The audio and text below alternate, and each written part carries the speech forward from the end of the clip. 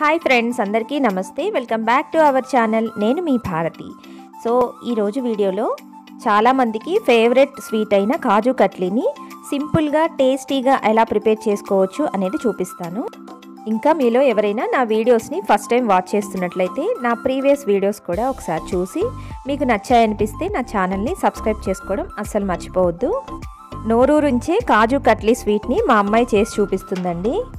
ముందుగా కాజు కట్లీ చేయాలంటే జీడిపప్పుని half an hour పాటు ఫ్రిడ్జ్లో పెట్టుకోవాలండి. ఎందుకు అంటే ఆ జీడిపప్పుని మనం పౌడర్ చేస్తాము. ఆ టైంలో మనకి పౌడర్ అనేది ఆయిల్లా ఫామ్ అవుతుంది. అలా కాకుండా ఉండాలంటే ఫ్రిడ్జ్లో పెట్టుకోవాలి. సో ఇక్కడ ఒక వన్ కప్ క్వాంటిటీ చూపిస్తున్నాను.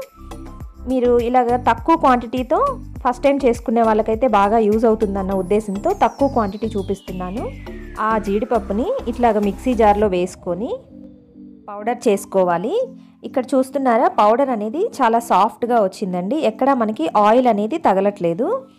మనము జీడిపప్పుని ఫ్రిడ్జ్లో పెట్టుకున్నాం కదా అందువలన మనకి ఆ పౌడర్ అనేది చాలా పొడి పొడిగా ఉందండి. ఇప్పుడు ఆ పౌడర్ని ఒక జల్లెల్లో వేసుకొని జల్లించుకుందాము. ఇది అంత ఈజీగా జల్లెల్లోంచి దిగదు ఎందుకంటే కొద్దిగా మనకి బరకగా ఉంటుంది. సో ఇలాగా చేతితో ప్రెస్ చేస్తున్నట్లుగా చేసినట్లయితే చాలా వరకు పౌడర్ అనేది కిందకు దిగుతుందండి. సో ఇలా మిగిలిన దానిని మరొక్కసారి మిక్సీ జార్లో వేసుకొని బాగా మెత్తగా అయ్యే వరకు మిక్సీ చేసుకోవాలి. ఇంకేంటంటే సెకండ్ టైము మనము మిక్సీ వేసుకున్నాక జల్లెడ అనేది పట్టమండి. మనకి చూస్తున్నారా ఇక్కడ సెకండ్ టైం మిక్సీ వేశాక కొద్దిగా ఆయిల్ కంటెంట్ అనేది రిలీజ్ అయింది. అందులో ఉన్న కూలింగ్ అనేది పోయింది కాబట్టి మనకి ఆయిల్ అనేది రిలీజ్ అవుతుంది.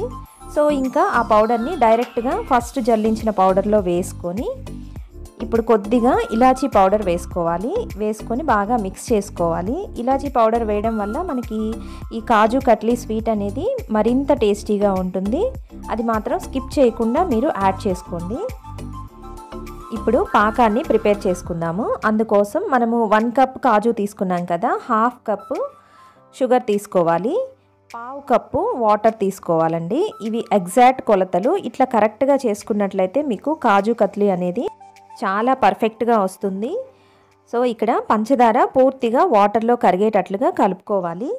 ఇలాగా కలుపుకున్నాక మధ్య మధ్యలో మనము పాకం వచ్చిందో లేదో చెక్ చేసుకుంటూ ఉండాలండి. ఇక్కడ ఏంటంటే తక్కువ క్వాంటిటీలో చూపిస్తున్నాను కదా కాబట్టి మనకి పాకం అనేది వెంటనే వచ్చేస్తుంది.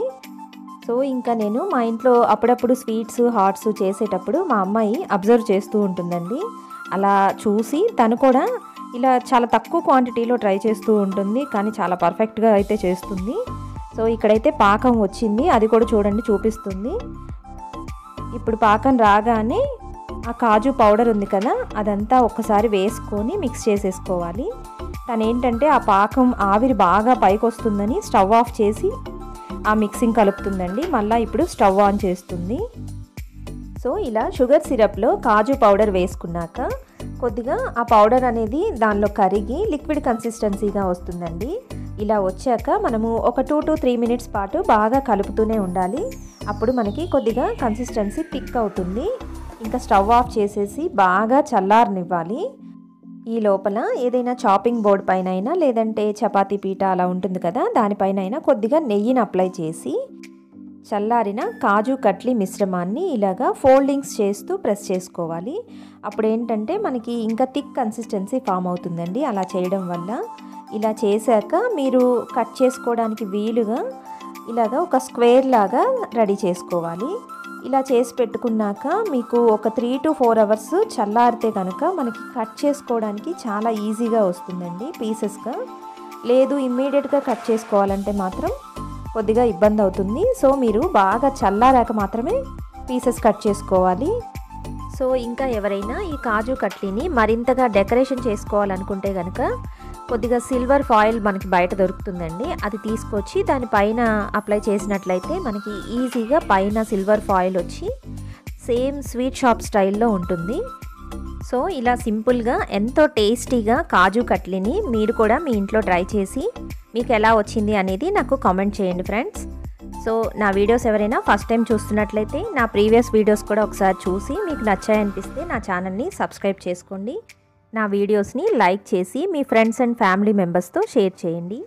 Thank you for watching friends.